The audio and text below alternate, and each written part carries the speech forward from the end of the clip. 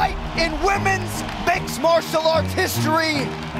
I knew that that fight was going to be ridiculous. You have these two incredibly talented savages who wanted that belt more than anything.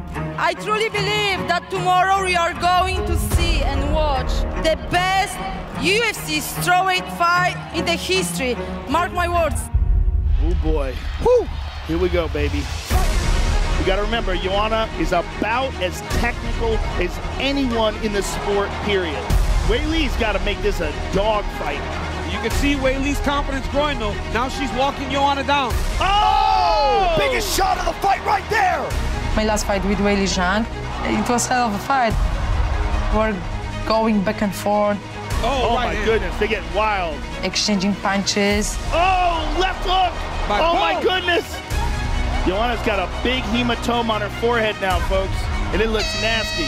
Oh my God. I felt lots of pain, Oh, man. but if you're a warrior, you go there and you fight. My goodness, this is a fight. They're laying it all out on the line, man. 其实当时在比赛场上的时候，已经心里就没有想着什么输赢啊什么的，我们就是完全把自己所有的东西、所有的本能，然后那种坚韧，然后打出来了。 Oh! Oh my goodness! Power shots on both sides. This is so crazy! Oh, oh! spinning back fist lead. The decision could go either way. The judges decided to give the victory to Weili Zhang, but I was proud of myself, and it had to be like this so we can face each other again two years later. UFC 275.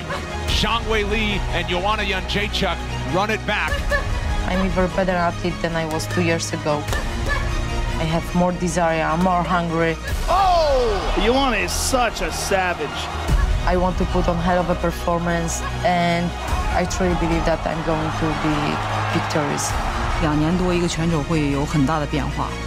其实一直在都在不断的弥补自己的短板啊，嗯，增加自己速度啊、力量啊，呃，一些精细的技术啊。Wow! Zhang Weili has her down.